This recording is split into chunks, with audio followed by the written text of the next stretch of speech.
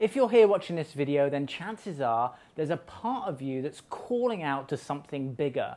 Maybe something like, do you know what? I just want to be a better man. I just want to be a great man. Maybe I just want to be an extraordinary man. In this video, I'm going to be sharing with you my top 10 shifts that are really going to help you live a radically different life. Stay tuned.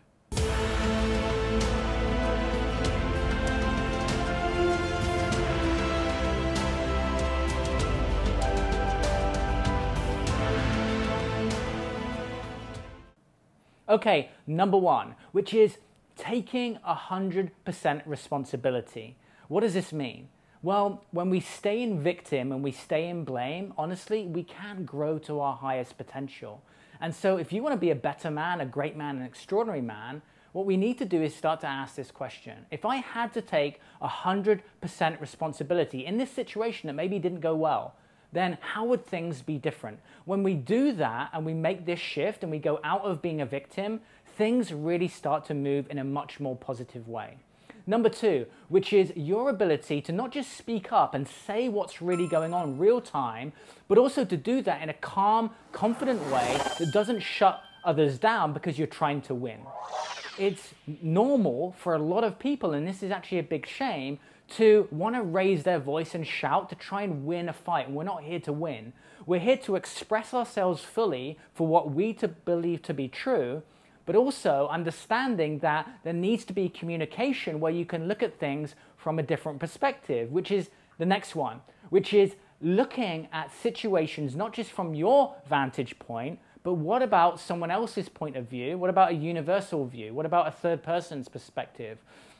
When we create the statement in our mind of, I'm right, then that stops possibility to actually see something given someone else's worldview because when we understand that everyone's been brought up with different belief systems in a different environment, in a different culture, then we can actually start to relax and live a radically different life. When we're so focused on this is my way, the only way, this is what I've been taught, these are my rules, then actually that creates a lot of tension within the body, and that actually doesn't feel good.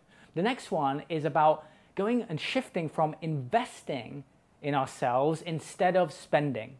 So when we're spending, when we're in compulsion, when we're buying items, and that's just a quick stimulant, then there's a big difference from when we're reading and we're educating ourselves and we're investing in mentors and programs so that we're becoming more aware and more aware as a person because self awareness is truly the key to everything. And that leads me on to number five, which is never stop learning. Thankfully, you're watching this video and that tells me that you want to grow. You want to invest your time and energy in growing.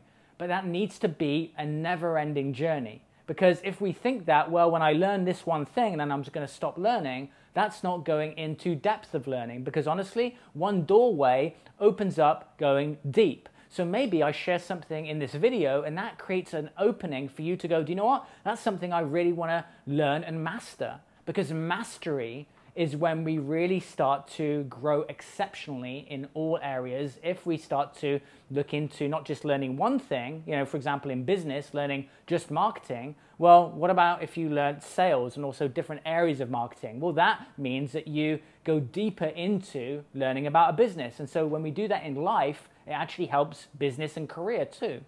The next one is spending time in silence.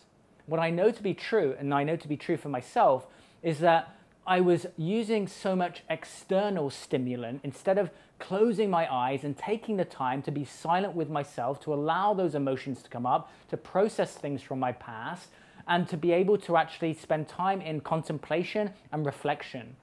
It takes mastery to actually close your eyes and spend time with your own thoughts, understanding that in doing that, you're going to have insight. The next one is the shift from just getting physically fit, which we do, you know, and I did as I grew up. I just wanted to go into the gym and train my muscles, to committing to mental fitness and mental strength. You see, I became a personal trainer and I got in great physical shape, and I actually built that as a career. But there was still a little boy inside that needed to be healed, and that could only happen from me working on this. So when you match, yes, having a, a great physical body with the sharpness of mind, that gives you a whole new edge. The next one, which is absolutely critical, which is having a high level of integrity.